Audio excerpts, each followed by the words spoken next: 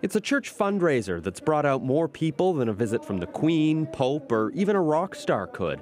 Organizers were planning for 100,000 people. That's one in five people in Newfoundland and Labrador crammed into the Goulds neighborhood of St. John's, each person hoping to become a millionaire. The first card of the night flipped over didn't reveal the ace, so another ticket and another chance. It was Don and Marge Gorman's turn next. With this ace of spades, they're taking home $2.6 million, of prize split with three couples, but it's still enough to change their life. I'm now going to retire. the event has become about more than just the money.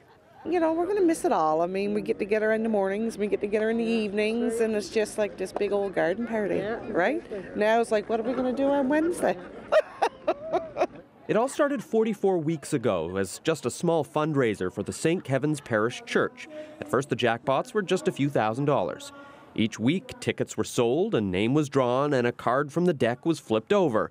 No one uncovered that ace of spades, so no one got the grand prize. It all just rolled over week after week. For this final draw, the lineup stretched for kilometers. Many people waited in line for five hours just to buy tickets. It's not just the church that's profited. Buskers had a captive audience to make a few dollars. Kids and charity groups sold parking spaces, bottles of water, and food.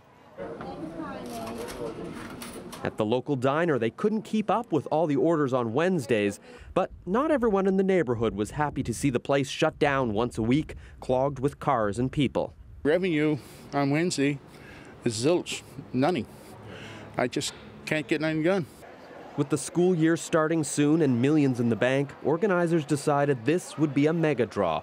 One way or another, the jackpot would be given out. Kind of disappointed that it's all going to be over because it's been such a, a big part of all the community's lives now since October. The other big winner has been the church, bringing in millions from the lottery.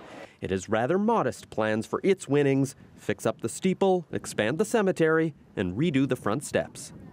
Peter Cowan, CBC News, St. John's.